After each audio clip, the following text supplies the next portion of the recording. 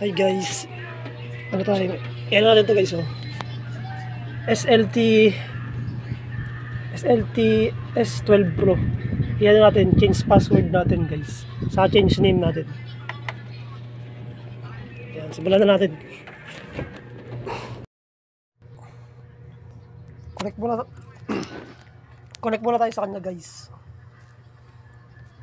Tapos natin yung Chrome. Ngayon guys, nakakonect na ako sa kanya guys.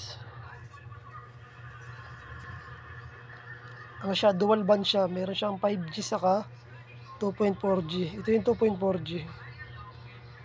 Yan. Tapos buksan natin yung Chrome. Nasa likod ng modem yung ano. Sa likod ng modem guys, yung IP niya. Ito yung IP niya guys. Ah. 192.168.254.254. Yan. Enter lang natin yan guys. Tapos, sa super admin tayo papasok guys. Para mapalitan natin. Type lang natin super admin. Super admin. Tapos super admin.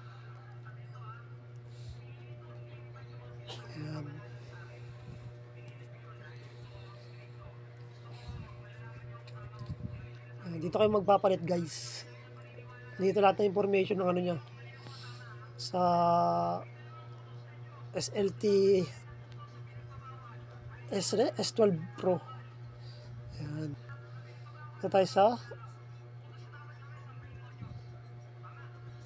sa one hindi dyan dito tayo sa wifi hindi pa rin device setting yan so, may device setting tayo guys tapos ano tayo rito sa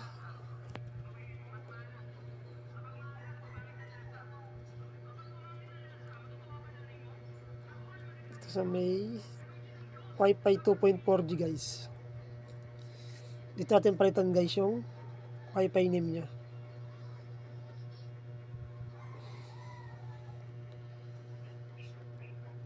Tayo natin tong God loves you.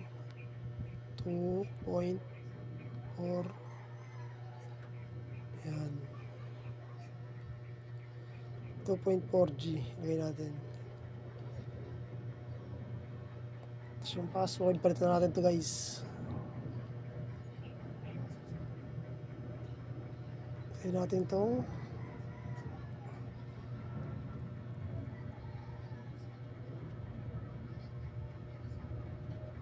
palitan ko lang password guys ah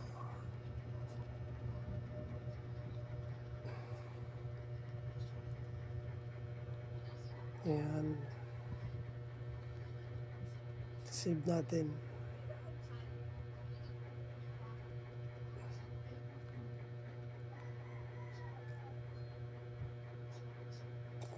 Ayan guys, na nasipa tayo sa connection.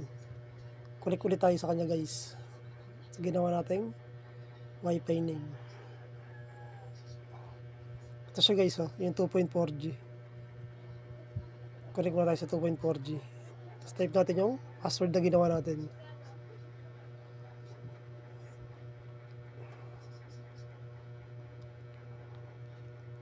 Yan. Yan, nakakorek ka tayo guys. Ngayon balik tayo doon para baguhin natin yung 5G naman. Balik tayo sa Google Chrome.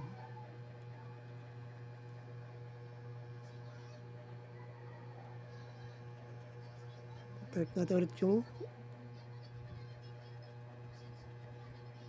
192.254 sa dulo. Yan guys. Login ulit tayo dito guys. Up, hindi na tayo kailangan mag-login. Diretso na kagad siya guys. Ngayon, punta tayo sa may device setting. Tapos, punta tayo sa may Wi-Fi 5G setting. Baguhin natin yung Wi-Fi, Wi-Fi name niya.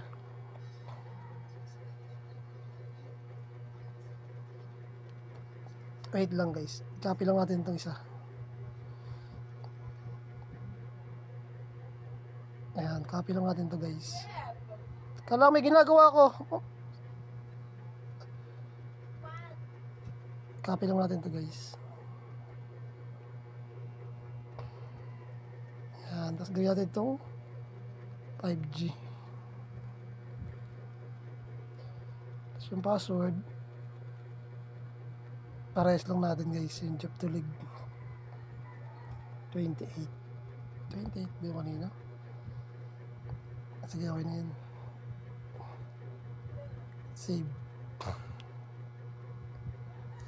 Ayan. Guys Ganun lang mag-change password guys. Tingnan natin kung mababago na guys. Ito tayo sa setting ng 2.4G password na ito pares lang sila. Tignan natin sa may wifi setting natin guys. Cellphone lang gamit natin guys ha ang ano ayan na siya guys oh. 5G God's love you God love you saka yung God love you 2.4G saka yung 5G yan ganun lang guys mag ano mag change wifi name saka password. Share ko lang sa inyo. Sa mga hindi pa pala nakapollow dyan guys Huwag niyo kalimutan mag-follow sa Facebook saka pa-subscribe na rin sa YouTube. Thank you.